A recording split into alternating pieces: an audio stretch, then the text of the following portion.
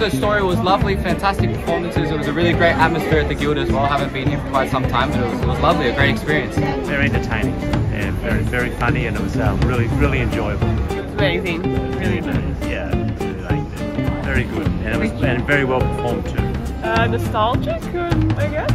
Oh, all that kind of warm and fuzzy feeling. I think it was nice and, and, and loving. Kind of warm and fuzzy, very cheesy Yeah. towards the end, but I enjoyed it a lot. Yeah, it's a real feel good um, show. Yeah. Nice show to come and forget about the outside world, and what it currently is. Yeah, simpler times.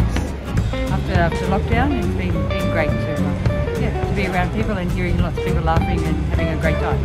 absolutely, I recommend everyone come and see this show. Definitely. Anyone that wants a good night out, Yeah. young or old. Classic love story.